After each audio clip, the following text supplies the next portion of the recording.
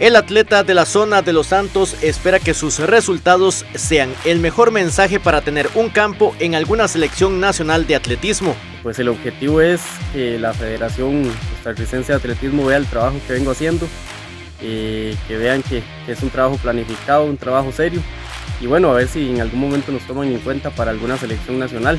El primer lugar durante el fin de semana en los 10.000 metros planos dejó buenas sensaciones en Serrano que corre por Pérez Celedón. El tiempo me deja satisfecho, y a pesar de que quedé un poco lejos de mi mejor marca, eh, es un buen tiempo.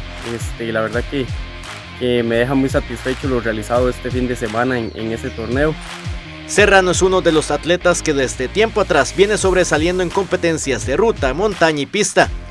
Por el momento seguimos ahí tranquilos, eh, vamos a seguir en los próximos torneos que aparezcan, que vengan en estos meses y bueno, a seguir disfrutando de este, de este primer lugar del fin de semana pasado. Abraham tiene proyectado participar en la maratón de New Jersey.